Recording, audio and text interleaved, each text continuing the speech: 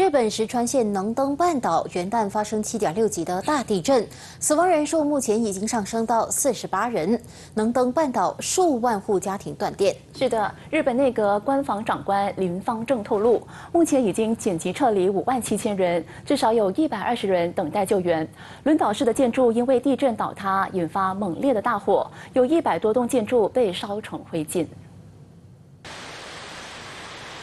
日本石川县能登半岛元旦历经地牛翻身，强震给石川县最大的城镇金泽市带来措手不及的新免伤痕。轿车被压在建筑底下，道路塌陷，岩石和土崩切断了通行路段，加剧救援难度。来自全国各地的数千名军人、消防员和警察第一时间派往重灾区救援。然而，由于道路严重受损，能登半岛几乎成为孤岛，搜救行动遇到瓶颈。另外，根据国土交通省表示，石川县能登机场受地震影响，跑道多处出现裂缝，机场航站楼也受损关闭，大约五百人受困在机场内的停车场。虽然有粮食物资，但机场附近的道路不通，几乎。处于孤立状态。日本内阁官房长官林方正星期二召开记者会，证实目前有一百二十人等待救援。石川县和新泻县已经设立九百五十五个疏散中心，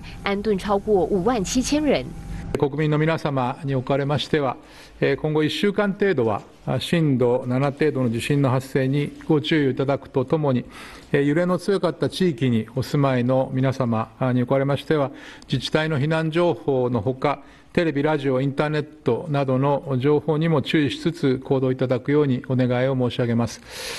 轮岛市中心遭受史无前例的破坏。根据日本广播协会报道，大量建筑因地震倒塌，引发席卷一百多栋建筑的猛烈大火，整个市镇陷入一片火海。消拯人员连夜灌救，大部分火势已经受控。不过，截至星期二早上，遭火魔肆虐的城镇满目疮痍，冒出零星火焰和白 烟。消拯人员在一些倒塌的建筑搜寻生还者的下落。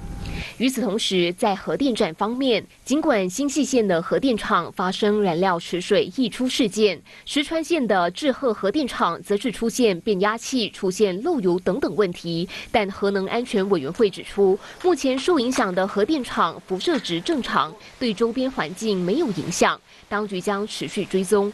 此外，有民众星期二拍摄了能登市的灾后情况。当地的一个小港口道路遭到严重破坏，救援队还在竭尽所能到偏远地区展开搜救工作。基础设施受损，导致能登半岛至少有数万户家庭停电。日本气象厅警告，未来几天可能会发生七级左右的地震。